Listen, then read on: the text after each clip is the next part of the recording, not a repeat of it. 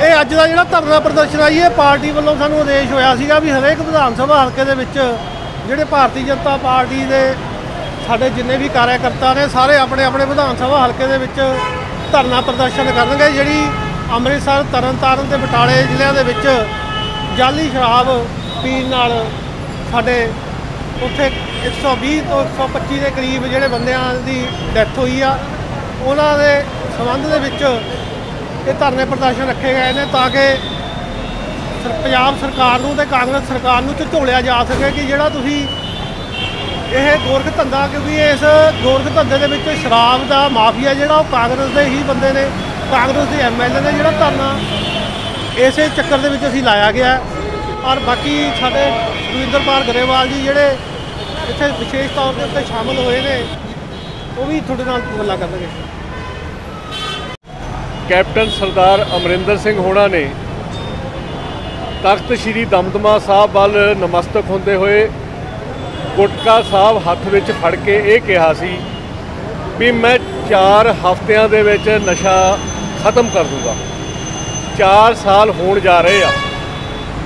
ਔਰ ਕਿੱਡੀ ਵੱਡੀ ਬਿ- ਪੱਧਰ ਤੇ ਸਾਡੇ ਪੰਜਾਬ 'ਚ ਦਿਖਾਂਤ ਵਾਪਰਿਆ ਔਰ ਸਵਾ ਸੌ ਤੋਂ ਵੱਧ ਲੋਕ ਜ਼ਹਿਰੀਲੀ ਸ਼ਰਾਬ ਦੇ ਨਾਲ ਇਸ ਸੰਸਾਰ ਤੋਂ ਚਲੇ ਗਏ। ਮੈਂ ਤਾਂ ਇਹ ਕਹਿਣਾ ਵੀ ਸੀਬੀਆਈ ਪ੍ਰੋਬ ਤਾਂ ਇਹਦੀ ਹੋਣੀ ਚਾਹੀਦੀ ਆ। ਨਾਲ ਇਹ ਵੀ ਪੁੱਛਣਾ ਚਾਹੁੰਦਾ ਵੀ ਕੈਪਟਨ ਸਾਹਿਬ, ਤੁਸੀਂ ਤਾਂ ਕਹਿੰਦੇ ਸੀ ਵੀ ਜਿੰਨੇ ਧਾਰਮਿਕ ਗ੍ਰੰਥਾਂ ਦੀ ਨਰਾਦਰੀ ਹੋਈ ਆ, ਚਾਹੇ ਉਹ ਧੰਨ ਧੰਨ ਸ੍ਰੀ ਗੁਰੂ ਗ੍ਰੰਥ ਸਾਹਿਬ ਜੀ ਮਹਾਰਾਜ ਸੀ, ਚਾਹੇ ਗੀਤਾ ਸੀ, ਚਾਹੇ ਹੋਰ ਧਾਰਮਿਕ ਗ੍ਰੰਥ ਸੀਗੇ। ਵੀ ਉਹ ਮੈਂ ਆਉਂਦੇ ਸਾਰ ਹੀ ਉਹ ਬੰਦੇ ਫੜੂੰਗਾ। ਉਹ ਬੰਦੇ ਦਾ ਕੀ ਫੜਨੇ ਸੀ? ਤਾਂ ਤੁਸੀਂ ਤਾਂ ਖੁਦ ਗੁਟਕਾ ਸਾਹਿਬ ਦਾ, ਬਾਣੀ ਦਾ, ਤਖਤ ਸਾਹਿਬ ਦਾ ਨਰਾਦਰ ਕੀਤਾ। ਔਰ ਤੁਸੀਂ ਵੀ ਬਰਾਬਰ ਦੇ ਦੋਸ਼ੀ ਹੋ, ਜਿਹੜੀਆਂ ਜਥੇਬੰਦੀਆਂ ਗੱਲ ਕਰ ਰਹੀਆਂ ਨੇ। ਔਰ ਮੈਂ ਸ਼੍ਰੀ ਅਕਾਲ ਤਖਤ ਸਾਹਿਬ ਦੇ ਜਥੇਦਾਰ ਸਾਹਿਬ, ਗਿਆਨੀ ਹਰਪ੍ਰੀਤ ਸਿੰਘ ਹੋਣਾ ਅੱਗੇ ਨਮਸਤਕ ਹੁੰਦੇ ਹੋਏ ਬੇਨਤੀ ਕਰੂੰਗਾ ਵੀ ਮੈਂ ਭਾਰਤੀ ਜਨਤਾ ਪਾਰਟੀ ਦਾ ਆਲ ਇੰਡੀਆ ਸੈਕਟਰੀ ਆ ਕਿਸਾਨ ਮੋਰਚੇ ਦਾ ਤੇ ਜੰਮੂ ਕਸ਼ਮੀਰ ਦਾ ਇੰਚਾਰਜ ਆ ਪਰ ਨਾਲ ਮੈਂ ਇੱਕ ਸਿੱਖ ਸਰਦਾਰ ਵੀ ਆ ਕਿਉਂ ਨਹੀਂ? ਸ਼੍ਰੀ ਅਕਾਲ ਤਖਤ ਸਾਹਿਬ ਦੇ ਜਥੇਦਾਰ ਜੀ ਨੇ ਨੋਟਿਸ ਲਿਆ ਵੀ ਇੱਕ ਮੁੱਖ ਮੰਤਰੀ ਉਹ ਗੁਟਕਾ ਸਾਹਿਬ ਫੜ ਕੇ ਸ਼੍ਰੀ ਦਮਦਮਾ ਸਾਹਿਬ, ਜਿਹੜੇ ਸਾਡੇ ਤਖਤ ਸਾਹਿਬ ਨੇ, ਉਧਰ ਨਮਸਤਕ ਹੋ ਕੇ ਔਰ ਪਾਣੀ ਦੀ ਸਹੁੰ ਖਾਵੇ। ਔਰ ਉਹ ਝੂਠੀ ਸਹੁੰ ਖਾਵੇ, ਅੱਜ ਤੱਕ ਉਹਨੂੰ ਪੁੱਛਿਆ ਨਾ ਜਾਵੇ। ਇਸ ਕਰਕੇ ਇਹ ਜਿਹੜਾ ਦਿਖਾਂਤ ਹੈਗਾ, ਇਹ ਸਾਡੇ ਪੰਜਾਬ ਦੇ ਮੱਥੇ ਤੇ ਕਲੰਕ ਆ ਔਰ ਕੈਪਟਨ ਅਮਰਿੰਦਰ ਸਿੰਘ ਦੀ ਕਾਂਗਰਸ ਸਰਕਾਰ ਦੇ ਮੱਥੇ ਤੇ ਕਲੰਕ ਆ ਔਰ ਇਹ ਰਾਜਾ ਮਰਦੇ ਦਮ ਤੱਕ ਵੀ ਧੋ ਨਹੀਂ ਸਕਦਾ। ਜਿੰਨੀਆਂ ਕੈਜੂਅਲਟੀਜ਼ ਪੰਜਾਬ ਦੇ ਵਿੱਚ ਹੋਈਆਂ ਨੇ, ਔਰ ਇਹ ਤਾਂ ਕਹਿੰਦੇ ਸੀ ਵੀ ਅਸੀਂ ਆਉਂਦੇ ਹੀ ਚਿੱਟੇ ਵਾਲੇ ਵੀ ਫੜ ਲੈਣੇ ਆ ਨਹੀਂ ਚਲਾ ਰਹੇ। ਔਰ ਕਿੱਥੇ ਕਾਂਗਰਸ ਦੇ ਜਿਹੜੇ ਮਿਨਿਸਟਰ ਨੇ ਜਾਂ ਐਮਐਲਏ ਨੇ, ਉਹਨਾਂ ਨੂੰ ਸ਼ੈਲਟਰ ਨਹੀਂ ਦੇ ਰਹੇ।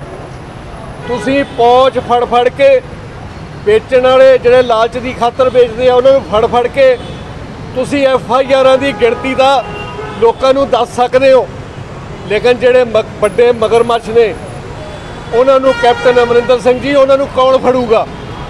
ਇਸ ਕਰਕੇ ਜਿਹੜੇ ਸੂਬੇ ਦਾ, ਜਿਹੜਾ ਸੂਬੇ ਦਾ ਮੁੱਖ ਮੰਤਰੀ, ਜਿਹੜੇ ਸੂਬੇ ਦਾ ਅਗਵਾਈ ਦੇਣ ਵਾਲਾ ਮੁੱਖ ਮੰਤਰੀ, ਉਹ ਖੁਦ ਝੂਠਾ ਹੋਵੇ ਔਰ ਖੁਦ ਉਸ ਚੀਜ਼ ਦੇ ਵਿੱਚ ਇਨਵੋਲਵ ਹੋਵੇ। ਮੈਂ ਕਹਿੰਦਾ ਵੀ ਖੁਦ ਮੁੱਖ ਮੰਤਰੀ ਵੀ ਇਨਵੋਲਵ ਹੈ। ਕਿਉਂ? ਉਹ ਪੰਜਾਬ ਦਾ ਮੁੱਖ ਮੰਤਰੀ captain Amarinder Singh. Home department ਕਿਹਦੇ ਕੋਲ? ਕੈਪਟਨ ਅਮਰਿੰਦਰ ਸਿੰਘ ਕੋਲ। ਐਕਸਾਈਜ਼ ਮਹਿਕਮਾ ਕੈਪਟਨ ਅਮਰਿੰਦਰ ਸਿੰਘ ਕੋਲ। ਕੈਪਟਨ ਅਮਰਿੰਦਰ ਸਿੰਘ ਹੁਣ ਕਿਹਦੀ ਲੋੜ ਹੈ ਕਿਹਦੋਂ ਪੁੱਛਣਾ ਕਿਉਂ ਨਹੀਂ ਚੱਕ ਕੇ ਅੰਦਰ ਕਰਦਾ? ਇਸ ਕਰਕੇ ਪਾਰਟੀ ਦੇ ਪੰਜਾਬ ਪ੍ਰਦੇਸ਼ ਪ੍ਰਧਾਨ ਸ਼੍ਰੀ ਅਸ਼ਵਨੀ ਸ਼ਰਮਾ ਜੀ ਨੇ ਭਾਰਤੀ ਜਨਤਾ ਪਾਰਟੀ ਪੰਜਾਬ ਪ੍ਰਦੇਸ਼ ਨੇ ਫੈਸਲਾ ਲਿਆ।